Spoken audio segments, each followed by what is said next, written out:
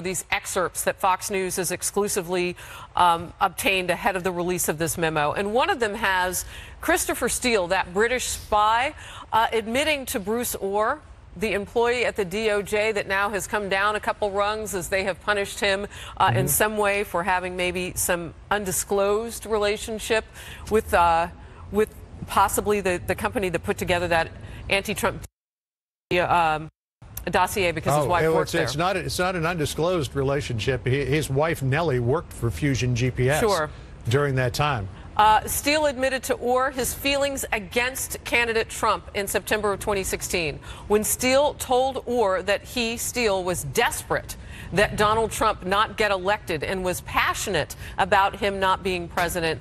Again, that's a quote from the memo from the excerpts that Fox News has uh, obtained exclusively. Your reporting on this. And, and, and again, I mean, this, this feeds into the whole narrative, which is the crux of this memo, that it was spurious and specious information that led to the granting of those FISA warrants to begin with. You heard Catherine Herridge reporting a short time ago that Christopher Steele and Fusion GPS briefed some reporters on the contents of the dossier, which she referred to as circular reporting. Uh, mm -hmm. Sources in the intelligence uh, area have uh, said to me that what they did was they I mean, they've been a, a little more uh, forthright about this. Not forthright, but they've, they've been a little more strident about it, let's say, to say that what happened was that Christopher Steele ginned up a fake news story in order to sell the uh, credibility of that dossier, which was then taken by the FBI to the FISA court and used to obtain warrants for surveillance of Trump campaign officials. So, uh, you know, it's, it's being seen in very sharp terms here that, that it's being portrayed in this memo that this whole thing was ginned up as a way to get at the Trump campaign. I mean, that's that's the that's the strongest way to put it. What's coming out of the memo? Now, people can see it different ways. You know, uh, obviously, Democrats are saying this was written by two Republicans. Of course, it's going to be bad. Uh, but we haven't even had a chance to read the full memo yet, nor have the nor has the American public.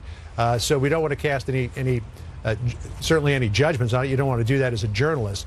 But we, we can't go too far beyond what we're saying right now. But basically, I'm just being told that what happened with this, uh, the, the FISA court and the application of the FISA court was based on false information and should never have happened. John so we'll Howard, see where it goes from here. John Howard Kurtz here. I mean, obviously, the import of this is that it raises questions about the roots of the Russia investigation, which the Trump administration has been trying Clearly. very hard to discredit. the dossier was considered uh, by mainstream media organizations, most of them, not including BuzzFeed, to be uncorroborated and unverified. But since there's been such a huge uh, partisan struggle over the release of this Devin Nunes memo. He, of course, the Republican chairman of the House Intel mm-hmm. Committee. Uh, isn't there likely to be a pretty strong counterattack from Democrats whose own counter memo has not been able to be released, according to the committee vote? And they're going to say that this is uh, cherry picking and that it uh, uh, has a lot of omissions in it.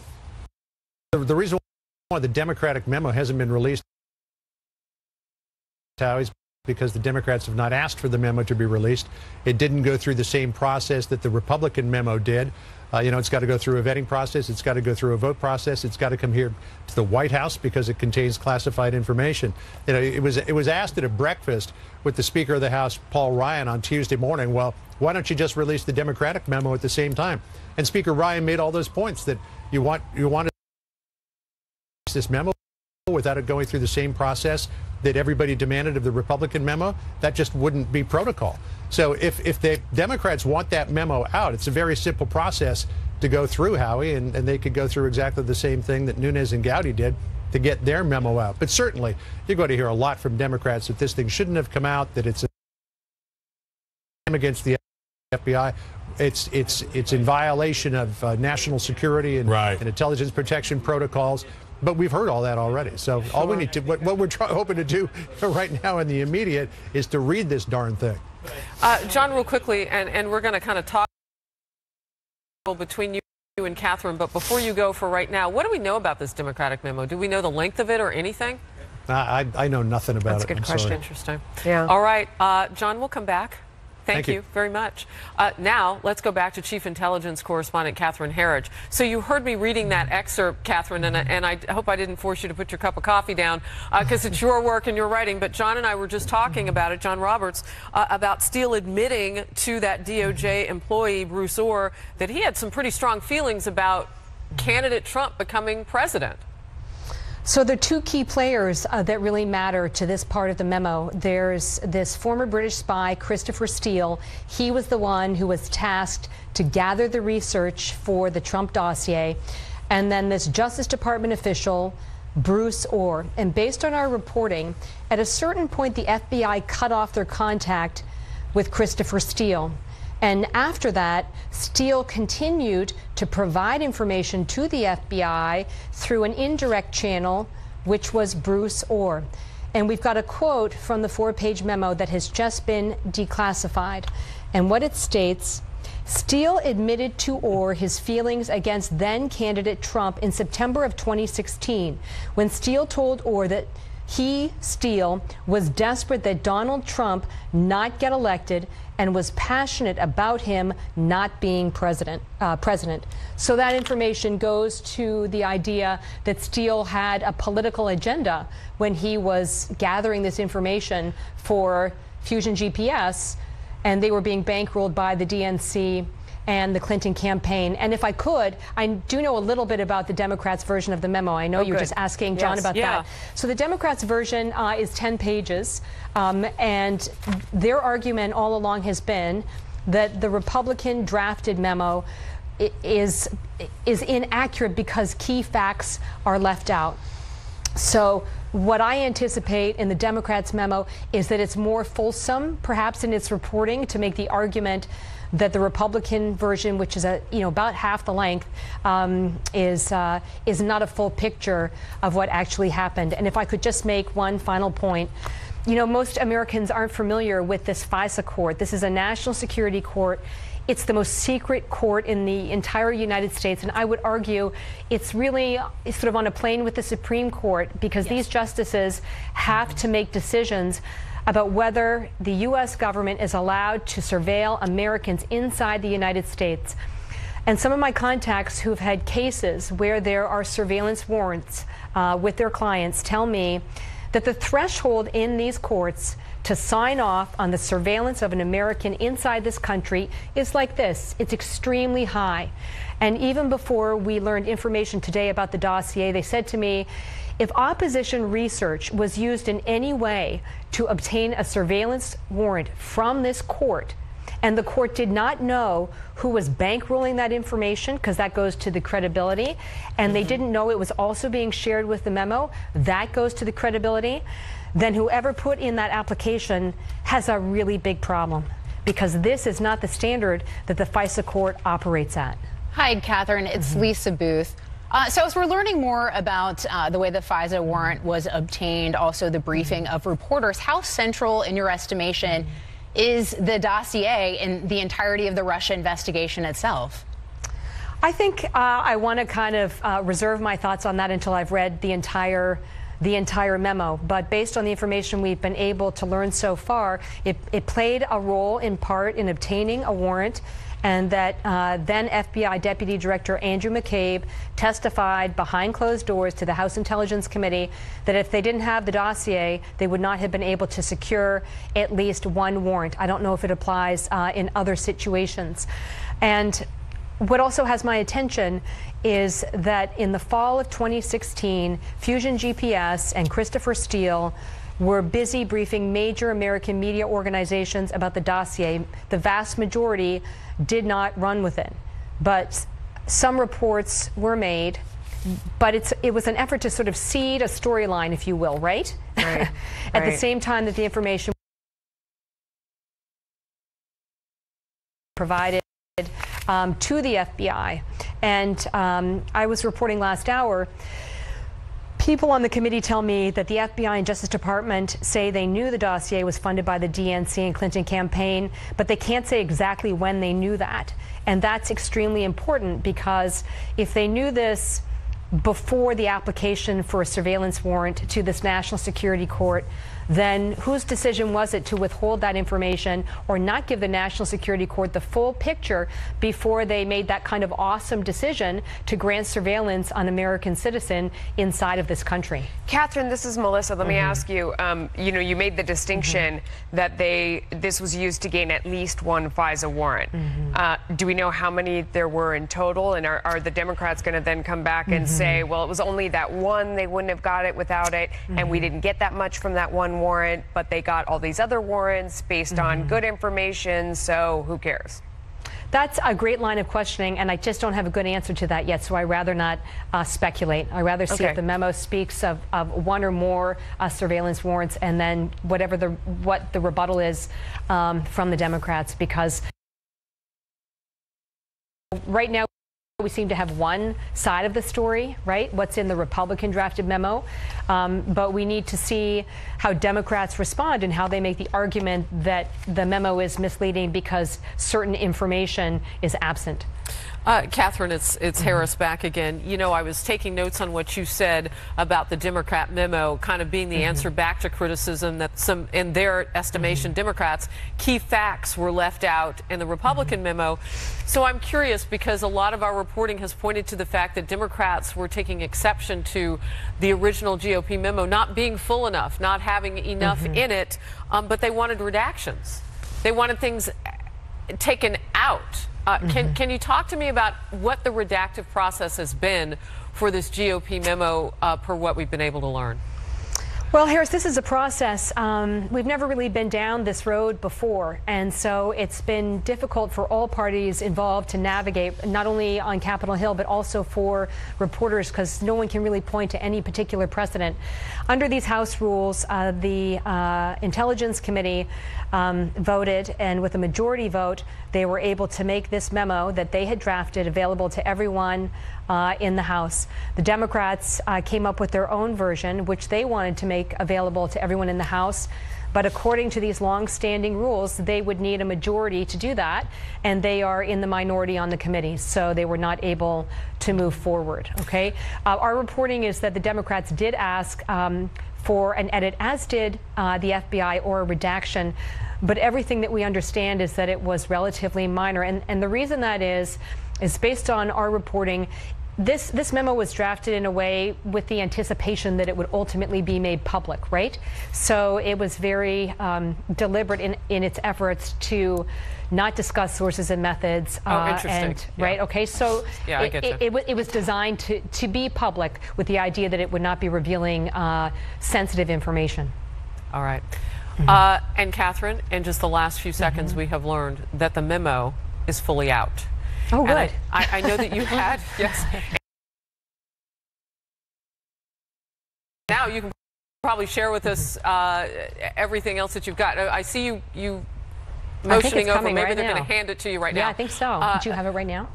Catherine, let's. Yeah, Okay, okay. she's going to take a quick peek. Yep, We're going to keep you on screen, now. but we're going to Okay, talk amongst right. ourselves. So, Howard Kurtz, you had some interesting questions because you said certain things will happen with this memo comes out. What? Well, uh, Yeah. obviously there'll be a Democratic counterattack, which will say this is not the whole picture. But here's how it's changed our understanding. So we can now see that not not only this Let's, Oppo. hold on a second. Let's cut Catherine's mi- mic so she Catherine's can have doing a some private work. conversation. You're seeing real reporting there in action. Okay, we, we can now watching say reporting being done right here. that the roots of the Russian investigation, as as reflected in this FISA warrant, were one with Oppo research from Fusion GPS hired by the Democrats, and two, Christopher Steele, not just an ex-British spy, but a guy who we now know was desperate, in his words, to stop of Donald Trump. At the same time, I just want to point out the Robert Mueller investigation has seemingly, from the reporting we have, moved a bit away from the whole Russian collusion question to questions of obstruction of justice. So even if everything in this Devin Nunes memo was true, it does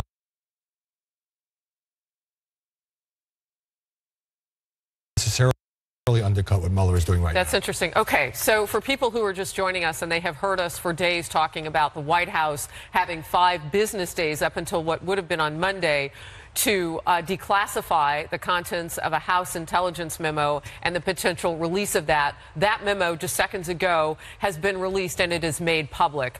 Our uh, lead intelligence correspondent on the job on this is Catherine Herridge. She is now, you saw her on the phone moments ago. She was talking already. We cut her mic. She's working on getting through. Now, remember, it's, it's less than four pages. So she's working on going through and making her notes that she had made by the Fox News exclusive excerpts that we had in the last hour uh, side by side with the full release of the memo. Uh, we've talked a lot about the Democratic response. We have a Democrat on the couch. Let's get some. Jessica?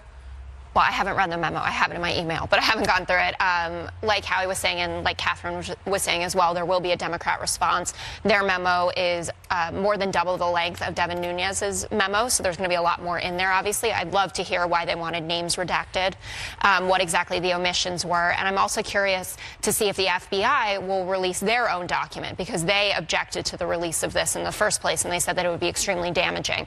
Uh, so there has been speculation that perhaps Christopher Wray will release a statement of his own, clarifying what's gone on here. But I think everyone will be watching Rod Rosenstein now because that is said to be Trump's target because he wants him removed because uh, he's the only one who can fire Bob Mueller. Uh, so those are the moving pieces here. Okay, but if you're President Trump, you have every right to be deeply concerned about all of this. You sure. essentially have a Democrat opposition research piece at the heart of the Russia investigation, as well as likely the public narrative well, shaped around that. Meanwhile, you also have the Obama administration unmasking his team's name, making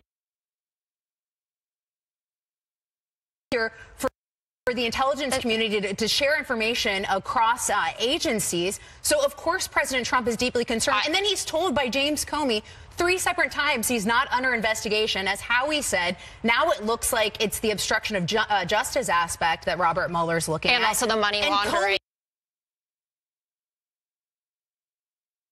Comey, that. forced he forced a special counsel investigation after he was fired. So if you're President Trump, how do you not collectively look at all of those things I, and say, what in the heck is going on here? I, I have never said that President Trump doesn't have a reason to be concerned and that we shouldn't be looking into all of these moving pieces. But we keep ignoring the fact that uh, Carter Page, who was the person that was being surveilled, they're making the argument that the FISA right, warrant was suspended. It started in 2013.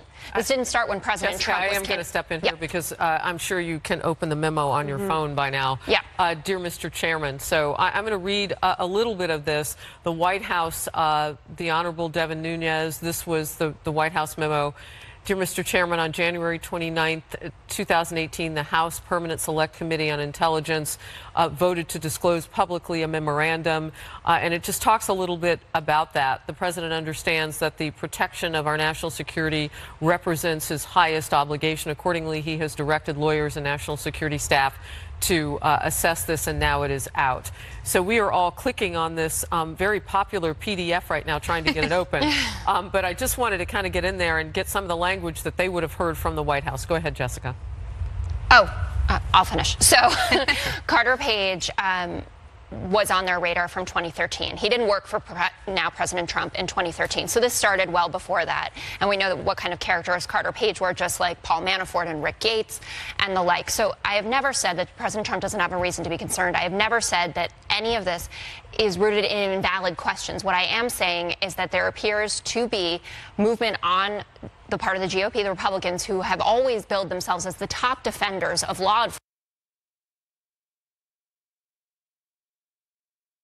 to undermine the FBI and the DOJ because of the Bob Mueller special counsel investigation. But you're forgetting the fact that Congress is also an investigative body mm -hmm. and they have oversight authority okay. here. And if you have people at the FBI or the DOJ abusing their authority, particularly for political partisan reasons, mm -hmm. that should be deeply concerning yeah. to you. Of course it is. As well as every American okay. who is watching this show and right it now. happens all on right, both we're going to step in again. Melissa, do you want to tag team this? I'm going to go ahead. We've got the yeah. unclassified memo now. Uh, and this is to majority members of the House Intel. So, Foreign Intelligence Surveillance Act abuses at the Department of Justice and Federal Bureau of Investigation is the subject matter of the memo. The purpose this memorandum provides members an update on significant facts relating to the committee's ongoing investigation into the Department of Justice and Federal Bureau of Investigation and uh, their use of Foreign Intelligence Surveillance Act, FISA, during the 2016 presidential election. You want to go ahead and jump to I the think what we're going to do is we're going to go to Catherine Herridge. Is that right? That that's what they just told me. We don't- do we want to bring Catherine back in, or you want us to do more of this? good. There we okay, go. go ahead, Catherine. Okay, so I'm through the first couple of pages of the memo, and uh, what they indicate is that the focus is on the FISA application for Carter Page. Carter Page was a one time foreign policy advisor to the Trump campaign. And it states that then FBI Director James Comey signed three FISA applica- applications, pardon me, on behalf of the FBI, as well as Deputy Director Andrew McCabe, who uh, was removed earlier this week, uh, Deputy Attorney General Sally Yates. She's the one who uh, sort of famously sounded the alarm about Mike Flynn. Uh, and she felt there was a basis for him to be blackmailed by the Russians, as well as then acting Deputy Attorney General Dana Boente and uh, Deputy Attorney General Rod Rosenstein. The key finding here, it says, our finding